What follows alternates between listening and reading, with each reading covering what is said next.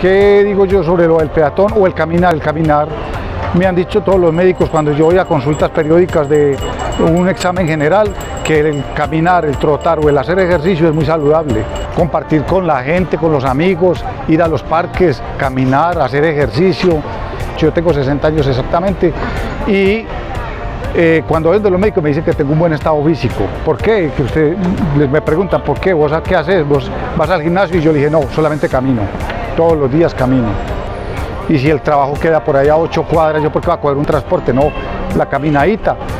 Y aprende uno, conoce, comparte con mucha gente y disfruta, disfruta el panorama.